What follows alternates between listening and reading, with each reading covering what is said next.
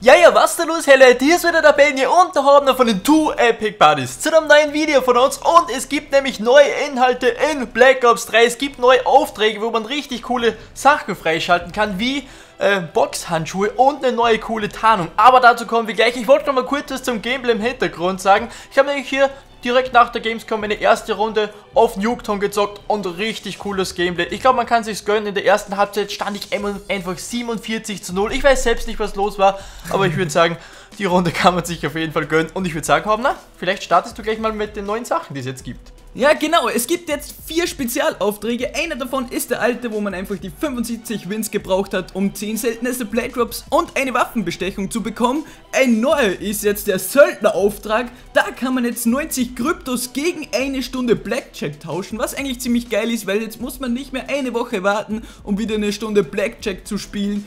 Dann gibt es auch noch was Neues, wo man Visitenkarten freischalten kann. Insgesamt sieben Stück. Man schaltet die sechs Visitenkarten frei, indem man einfach richtig viele Kills mit den Waffenkategorien macht. Zum Beispiel mit den MP, Sturmgewehren, Schrotflinten, Knives, Sniper und Shotguns.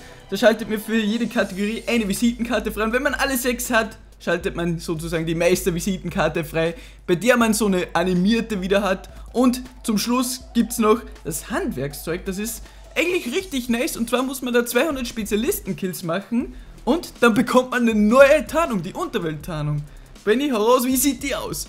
Die sieht auf jeden Fall richtig fresh aus, leuchtet ein bisschen und ist animiert und das finde ich eigentlich cool. Sowas habe ich schon eigentlich am Beginn von Black Ops 3 erwartet, dass man jetzt wirklich Challenges machen muss, wo man dann coole Sachen freischaltet und jetzt gibt es ja diese Handwerks-Challenge, wo man dann die geile Unterwelt-Tarnung freischaltet und ich muss sagen, äh, die sieht richtig fresh aus. Wir werden euch auf jeden Fall auch von der Tarnung quasi Gameplay im Hintergrund einblenden. Da gibt es nämlich schon Leute, die haben die irgendwie äh, hackt, sage ich mal unter Anführungszeichen und beziehungsweise Warum? freigeschaltet. Ja.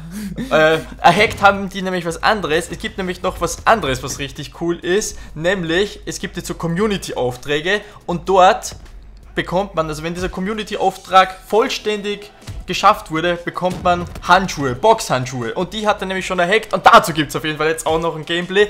Und was dieser Community-Auftrag ist, ist im Prinzip richtig cool. Es müssen, ich glaube, bis zum 2. September oder 1. September, oder bis wann war das genau? Ich glaube 2. Bis September. Bis 2. September, 19 Uhr, 350 Millionen Spiele gespielt werden. Dann werden die Boxhandschuhe für jeden freigeschaltet. Genau, das ist richtig cool. Ich meine, eigentlich ist für den Arsch, weil du kannst selber da nicht wirklich was dazu beitragen, weil alle müssen viel zocken. Aber wenn das soweit ist, bekommt jeder also alle Spieler diese Boxhandschuhe und das finde ich auch mega cool. Ich würde mir doch wünschen, wenn so Sachen jetzt für den Waffen freischalten auch noch bei den Aufträgen dazu kommen würde, wie das mit der Tarnung, also dass man wirklich jetzt, keine Ahnung, 200 Spezialisten-Kills machen muss und man bekommt dann die und die DLC-Waffe. Das wäre noch cool, ich hoffe, das kommt auch noch, aber ist ja. auf jeden Fall nice. Ich bin auf jeden Fall gespannt, das ist ja jetzt im Zuge von, ich glaube, ir irgendwelchen Champs oder die Champ COD Championships, dass die das gemacht haben mit den Boxhandschuhen. Vielleicht kommt danach auch wieder irgendwie sowas Geiles. Ich würde es auf jeden Fall feiern, wenn da vielleicht nicht nur mal eine Nahkampfwaffe kommen würde, die man da bei der Community-Aktion bekommen kann, sondern vielleicht auch mal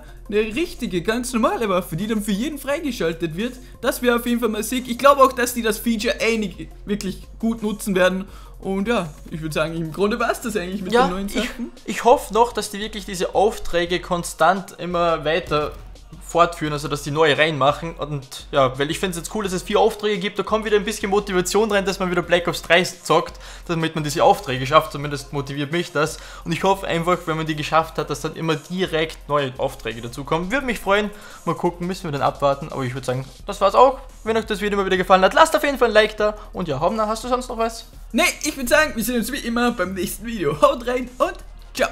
Ciao.